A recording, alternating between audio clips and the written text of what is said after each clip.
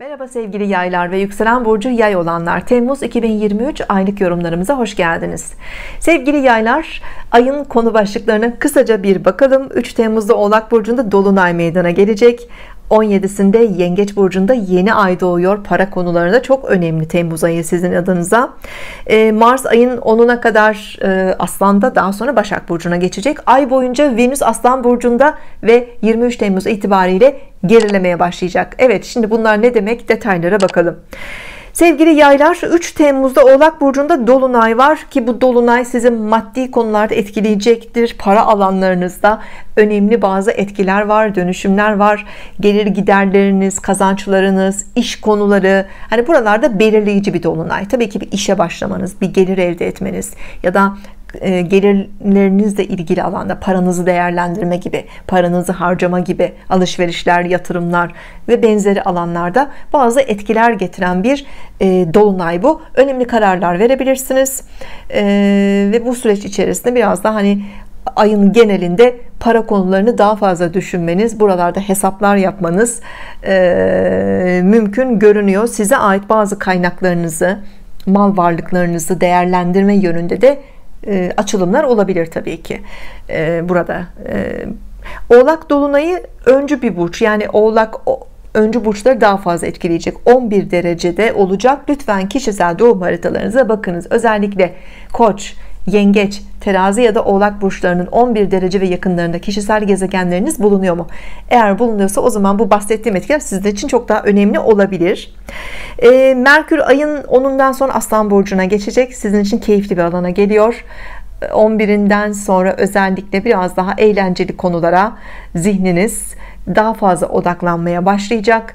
E, aşk konuları olabilir arkadaşlar sosyal konular olabilir ilgi alanınızda. Seyahatler yolculuklar ve benzeri konuları daha fazla düşünmeye başlayabilirsiniz. Çünkü ay boyunca Venüs de zaten burada. Ayın 10'una kadar Mars yine bu alanda. Ayın ilk 10 günlük süreci içerisinde daha fazla hareket seyahat imkanı olabilir. Onundan sonra artık Mars Başak Burcu'na geçecek. Ee, biraz daha enerjinizi mesleki konulara iş konularına yönlendirebileceğinizi işaret ediyor. Daha fazla çalışmanız daha fazla efor sarf etmeniz gerekebilir.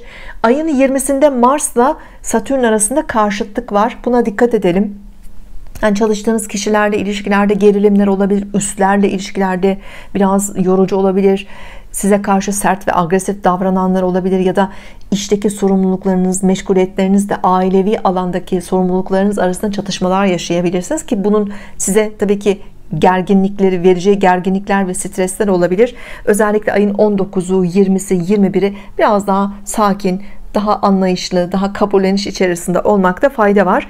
Ayın 17'sinde yengeç burcunda yeni ay doğacak 8. ev yeni ayı. Finansal konularda bazı destekler getirebilir size. Örneğin bir kredi almak gibi. Ee, ya da size ait bir emlak satış satılmışı kiralanmasıyla gelir elde etmeniz gibi bir konunuz var. Bu bir miras konusu da olabilir.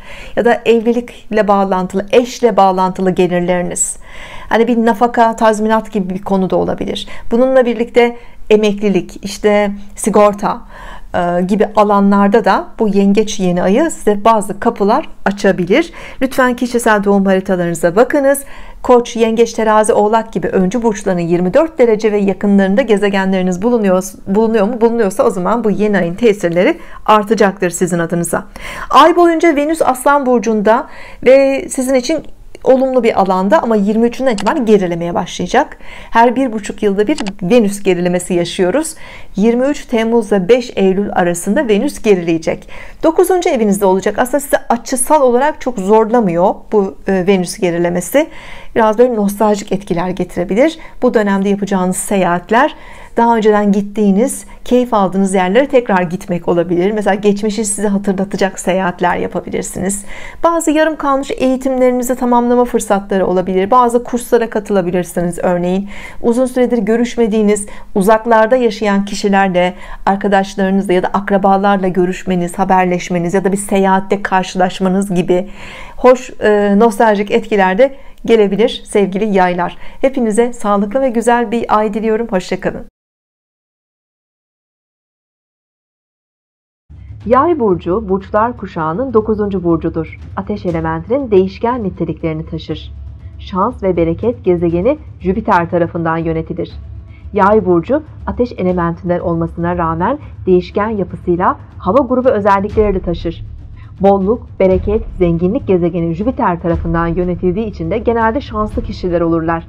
Karşılarına çıkan fırsatları değerlendirebilirlerse çok başarılı olabilirler. İyimser, neşeli, meraklı, özgürlüğüne düşkün kişilerdir. Yay burcu için gezmek, yabancı kültürleri tanımak, öğrenmek hayatlarında her zaman önemli bir yer tutacaktır. Geniş fikirli ve kültürlü kişilerdir. Hayatın anlamı, felsefesi ve manevi konular her zaman ilgilerini çeker. Öğrenmek ve öğrendiklerini başkalarıyla paylaşmak hayat amacıdır. Özgürlüklerine çok düşkün oldukları için herhangi bir kişi veya yere bağlanmakta zorlanabilirler. Keyiflerine ve rahatlarına düşkün oldukları için sorumluluk almaktan da kaçınabilirler. Yay burcu Jüpiter'in etkisiyle duygularını ve davranışlarını bazen çok abartabilir.